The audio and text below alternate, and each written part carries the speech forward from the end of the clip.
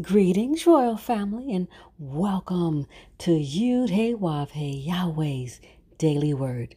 Now, here is where you can listen to the scheduled scriptural readings for each day of our solar year. Our solar calendar is very different from all other calendars used today. To get your current solar calendar with the daily scriptural readings and the weekly Shabbat readings, visit us on our website at www.yahweh144000.com. Now, Royal Family, you can have Yahweh's daily word delivered to you each day just by remembering to subscribe to our channel and hit that notification bell. Today's scriptural reading will be read by King Eliakim Yisrael. And today's scriptural reading is Deuteronomy chapter 5. And Moses called all Israel and said unto them, Hear, O Israel, the statutes and judgments which I speak in your ears this day, that ye may learn them and keep and do them. The Lord Yahweh, our God, made a covenant with us in Horeb the Lord Yahweh made not this covenant with our fathers, but with us, even us, who are all of us here alive this day. The Lord Yahweh talked with you face to face in the mount out of the midst of the fire. Verse 5 I stood between the Lord Yahweh and you at that time to shew you the word of the Lord Yahweh.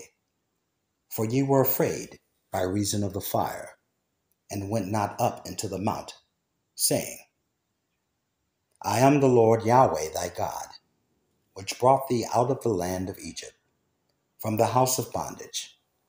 Thou shalt have none other gods before me. Thou shalt not make thee any graven image, or any likeness of anything that is in heaven above, or that is in the earth beneath or that is in the waters beneath the earth. Thou shalt not bow down thyself unto them, nor serve them.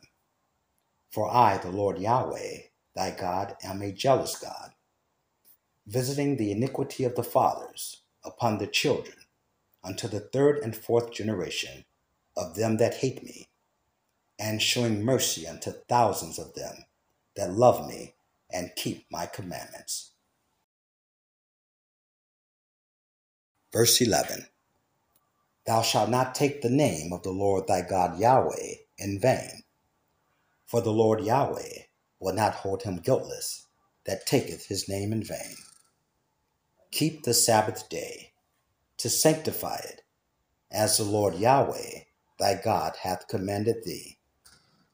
Six days thou shalt labor and do all thy work, but the seventh day is the Sabbath of the Lord Yahweh thy God. In it thou shalt not do any work, thou, nor thy son, nor thy daughter, nor thy manservant, nor thy maidservant, nor thine ox, nor thine ass, nor any of thy cattle, nor thy stranger that is within thy gates, that thy manservant and thy maidservant may rest as well as thou. Verse 15 and remember that thou wast a servant in the land of Egypt, and that the Lord Yahweh thy God brought thee out thence through a mighty hand and by a stretched out arm. Therefore the Lord Yahweh thy God commanded thee to keep the Sabbath day. Honor thy father and thy mother, as the Lord Yahweh thy God hath commanded thee, that thy days may be prolonged that it may go well with thee in the land which the Lord Yahweh thy God giveth thee.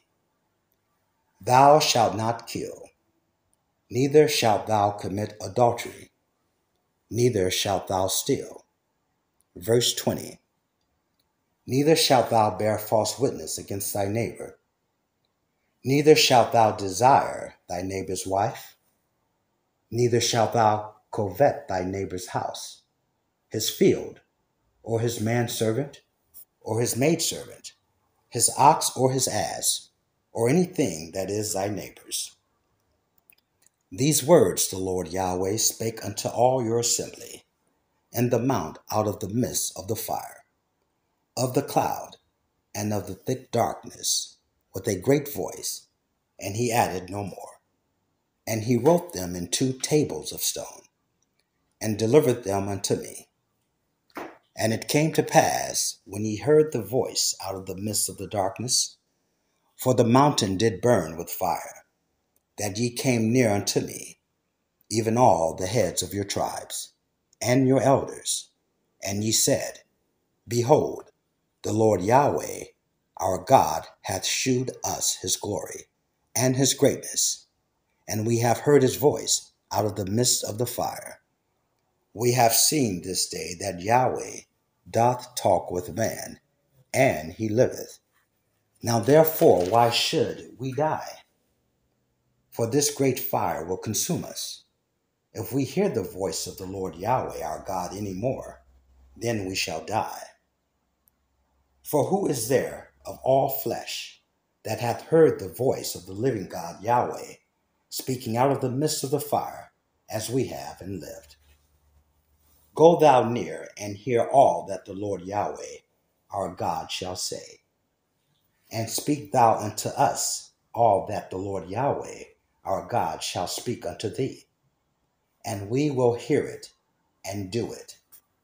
Verse 28 And the Lord Yahweh heard the voice of your words when ye spake unto me and the Lord Yahweh said unto me, I have heard the voice of the words of this people, which they have spoken unto thee. They have well said all that they have spoken. Oh, that there were such an heart in them, that they would fear me and keep all my commandments always, that it might be well with them and with their children forever.